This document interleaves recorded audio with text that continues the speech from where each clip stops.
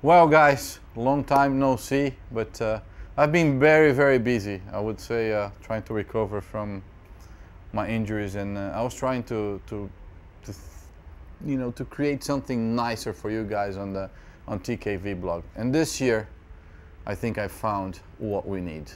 We, you know, after two years being Hideki's teammate, he's a great guy, a very, very shy guy, but when he gets to speak you know, he's, he's a fun man. And, uh, and I think uh, I want to find Hideki an American girlfriend. So I'm going to dedicate TKV blogs from now on until the end of the year to find Hideki a girlfriend.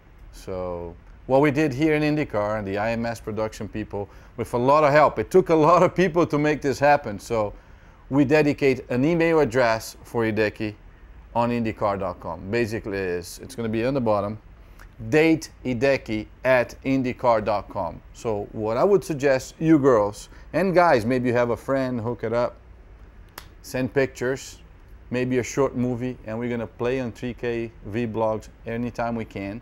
We're gonna choose one lucky girl that it's gonna be the luckiest girl in this paddock, I can tell you that, to date Hideki by the end of the year. So we have six, seven months right now from now on. Send the pictures.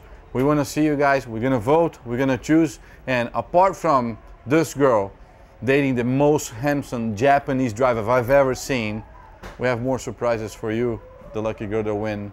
Maybe in the end of the year you get a prize as well. So uh, please guys, help me out. He doesn't know any of this. This is the first time he will figure it out. So send the pictures, send the videos, and we'll uh, we'll pick one. So hopefully, uh, you know, we have Hideki dating an American girlfriend.